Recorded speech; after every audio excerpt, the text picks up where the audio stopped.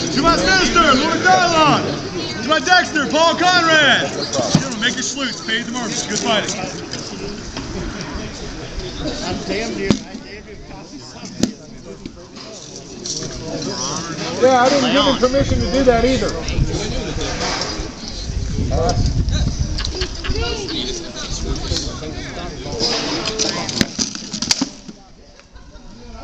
Come on, crack him in the head one. Victor by death, Louis Diloc.